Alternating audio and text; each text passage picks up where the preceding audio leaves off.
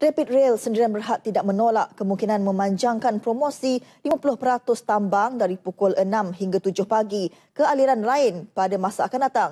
Menurut Ketua Pegawai Eksekutifnya, Datuk Zuhari Sulaiman, setakat ini promosi ditawar kepada pengguna sistem transit aliran ringan LRT Kelana Jaya dan monorail bermula 16 September lalu mendapat sambutan yang menggalakkan. Sambutan sekarang memang menggalakkan ya.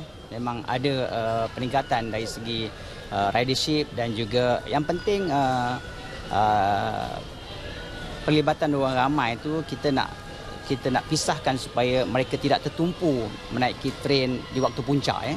Jadi dengan adanya insentif uh, di waktu antara pukul uh, 6 hingga pukul 7 maknanya bilangan penumpang akan dapat kita segregate kepada uh, dua waktu yang uh, berlainan ya. Jadi ini adalah bertujuan untuk mengelakkan uh, kesesakan di dalam train lah.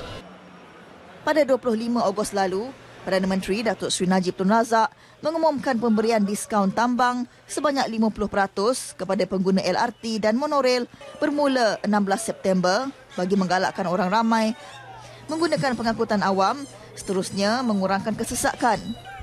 Beliau berkata demikian selepas menghadiri program SMART for CAKNE, Cancer Associates and Kindred Network di KL Central. Program itu melibatkan 50 badut dari Muslims Clown Malaysia yang menceriakan penumpang LRT aliran Kelana Jaya bagi kutipan amal membantu kanak-kanak kanser dari Pusat Perubatan Universiti Kebangsaan Malaysia PPUKM.